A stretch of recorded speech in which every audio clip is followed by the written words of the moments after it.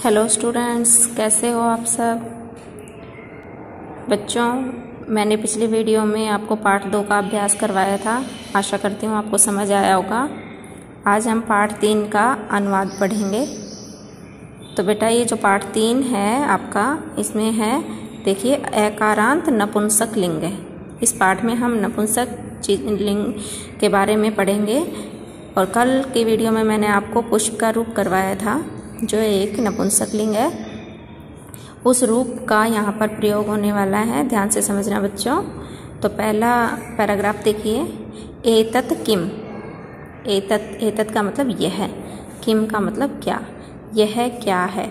अब ये तस्वीर देखिए। यहाँ पर ये जो न, औरत है ये तो सजीव है बेटा और स्त्रीलिंग है। लेकिन उसके हाथ में है जो चीज़ वो नपुंसक लिंग है। तो उसके बारे में पूछ रहे हैं, एतत किम? यह क्या है? उत्तर देखिए बच्चों, एतत खनित्रम अस्ति। एतत मतलब यह खनित्रम। खनित्रम क्या होती है? जो खुदाई करने के लिए चीज़ काम आती है, कुदाल, जिसे हम हिंदी में कहते हैं कुदाल। यह कुदाल अस्थि का मतलब होता है है। यह कुदाल है। आगे देखिए, श्रमिका खनित्रम चालयति। श्रमिका, यह औरत जो दिखाई दे रही है आपको, ये श्रमिका है मजदूरनी जिसे हम कहते हैं हिंदी में तो मजदूरनी कुदाल चाल यती मतलब चला रही है। फिर से देखिए, एतत् किम, यह क्या है? एतत् खनित्रम अस्ति, यह कुदाल है, खनि का खनित्रम चालयति मजदूरनी कुदाल चला रही है। आगे देखिए बच्चों सेकंड पैराग्राफ तत् किम, तत् का मतलब होता है वह। जब कोई चीज़ पास से बताई जाती है बच्चों, यह। और जब कोई चीज़ दूर से बताई जाती है मतलब वह। तो एतत एतत मतलब यह और तत् का मतलब वह। वह क्या है? तस्वीर देखिए बच्चों, क्या लिखा हुआ है यहाँ पर? विश्राम गृहम, विश्राम घर। तो वह क्या है? तत् विश्राम गृहम अस्ति। वह विश्राम गृह है। वह विश्राम घर है। किम अत्र भीतिकम अस्ति? क्या? किम का मतलब क्या? अत्र मतलब यहाँ भीतिकम, दीवार। भीतिकम होती है दीवार। दीवार है अस्ति मतलब है। यहाँ पर कोई दीवार दिखाई दे रही है आपको? नहीं है ना बच्चों? तो अत्र भीतिकम न अस्ति यहाँ दीवार नहीं है। अत्र मतलब यहाँ का मतलब दीवार, न का मतलब नहीं, अस्ति मतलब है। यहाँ दीवार नहीं है। समझ आया बच्चों? आगे देखिए। थर्ड पैराग्राफ एते के। ये एते। एते होता है ये दो। जो शब्द बच्चों हमने सबसे पहले वाले पैराग्राफ में ए तत् पढ़ा था, वो एक वचन है मतलब एक चीज़ को दर्शाएगा। उसी का द्विवचन है एते, ये दो। एते मतलब ये दो। ये दो क्या हैं? देखो, सुनार के हाथ में है अंगूठी। अंगूठी बना रहा है सुनार, ठीक है? तो एते मतलब ये दो अंगुली के अंगुली के मतलब अंगूठियाँ स्तः का मतलब है। ये दो अंगूठियाँ हैं। स्वर्णकार है। स्वर्णकार है का मतलब सुनार अंगुलीय के अंगूठिया रचयती मतलब बनाता है या बना रहा है। सुनार क्या काम कर रहा है बच्चों? अंगूठियाँ बनाने का काम कर रहा है। तो उसमें प्रश्न पूछा है आपसे, एते के, ये दो क्या हैं? एते अंगुलीय के स्तः, ये दो अंगूठियाँ हैं। स्वर्ण कार्य अंगुलिय के रचयती। सुनार अंगूठियाँ बना रहा है।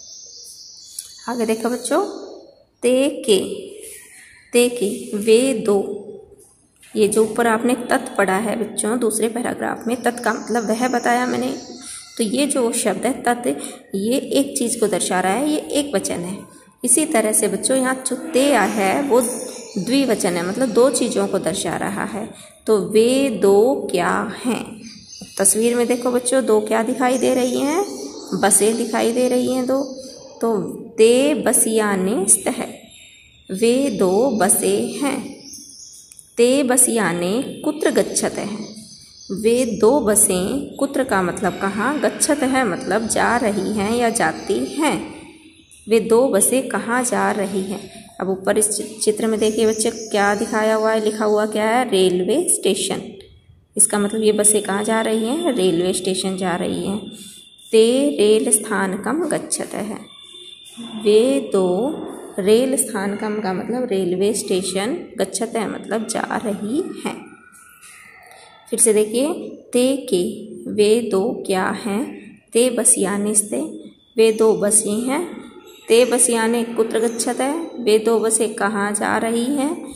ते रेल स्थानकम गच्छत, वे दो रेलवे स्टेशन जा रही हैं। यहाँ तक समझ आया बच्चों? अब देखिए अगला पैराग्राफ। एतानी कानी। एतानी का मतलब ये सब। इसमें दो से ज़्यादा वस्तुएँ हैं। एतानी जो शब्द है, वो बहुवचन है। किसका बहुवचन है?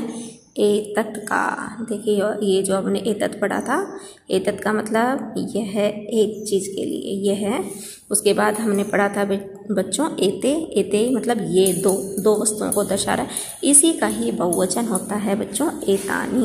एतत, एते एतानी। जैसे हमने पढ़ा था पुष्प के रूप में, पुष्पम, पुष्पे, पुष्पाणी। ऐसे ही एतत, एते, एतानी। तो एतानी कानी, ये सब क्या है? अब तस्वीर में क्या दिखाई दे रहा है बच्चों आपको? ये क्या है? रुमाल। क्या है ये सब? रुमाल। ये सब क्या है? प्रश्न है आपसे, पूछा गया है। एतानी कर वस्त्राणी संति। ये सब कर वस्त्राणी का मतलब रुमाल, संति का मतलब है। ये सब रुमाल हैं। किम एतानी पुराणानी? फिर क्वेश्चन पूछा है आपसे, प्रश्न पूछ रहे हैं कि किम एतानी पुराणानी? क्या ये सब पुराने हैं? न यहाँ अल्पविराम है तो थोड़ा रुकेंगे। नहीं। एतानी तू नूतनानी। एतानी मतलब ये सब, तू का मतलब तो नूतनानी का मतलब नए। ये तो नए हैं। या ये सब तो नए हैं। समझ आया बच्चों? आगे चलिए। तानी कानी। तानी का मतलब वे सब क्या हैं? ठीक है, वे सब क्या हैं? अब वही बात है, जैसे हमने एता तेते एतानी बताया था तो वह में होता है बच्चों शुरू। शब्द एक वचन में होता है, तत् द्विवचन में होता है बच्चों, ते और बहुवचन में होता है तानी। तत्, ते, तानी। तत् का मतलब वह ते का मतलब वे दो और तानी का मतलब वे सब जैसे पुष्पम, पुष्पे, पुष्पाणी। तत्, ते, तानी। समझ आया बच्चों? तो तानी, कानी, वे सब क्या हैं?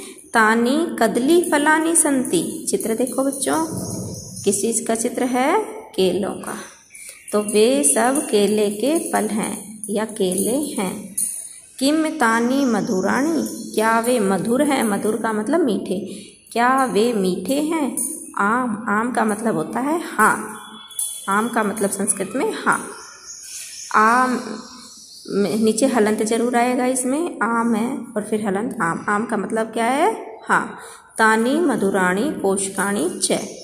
वे सब, तानी का मतलब वे सब, मधुराणी मतलब मीठे और पोषकाणी मतलब पोषक, पोषण देने वाले। ठीक है हेल्दी जिसे हम कहते हैं।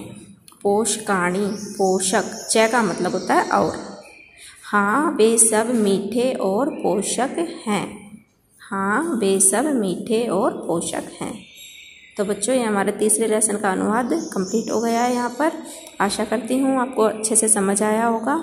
अगर फिर भी आपको कोई प्रॉब्लम हो तो आप पूछ सकते हो। धन्यवाद।